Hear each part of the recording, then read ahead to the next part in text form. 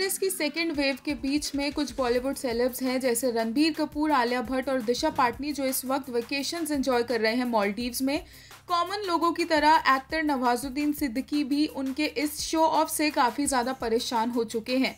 नवाजुद्दीन सिद्दीकी काफ़ी ज़्यादा फ्रस्ट्रेटेड है और हाल ही में उन्होंने इन सभी सेलेब्स को टारगेट किया है। दरअसल, बॉलीवुड हंगामा की एक रिपोर्ट की माने तो नवाजुद्दीन सिद्दीकी का कहना है कि जहाँ एक तरफ़ वर्स्ट रिसेशन चल रहा है वर्ल्ड इतना कुछ फेस कर रहा है, वहीं कुछ ऐसे सेलेब्स भी है जो अपनी वेकेशन पिक्चर्स पोस्ट कर रहे हैं। उनका कहना है, लोगों के पास खाना नहीं है और आप पैसे फेंक रहे हो, कुछ तो शर्म करो।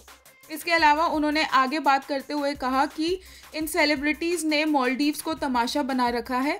मुझे नहीं पता कि टूरिज़्म इंडस्ट्री के साथ इनका किस तरह का रिलेशनशिप है, लेकिन ह्यूमैनिटी भी कोई चीज़ होती है और उसी के लिए अपनी वेकेशंस को सिर्फ़ अपने तक रखें। जो लोग सफ़र कर रहे हैं, उनके फेस पर यह चीज़ फ्लॉन्ट करने की ज़रूरत नहीं है।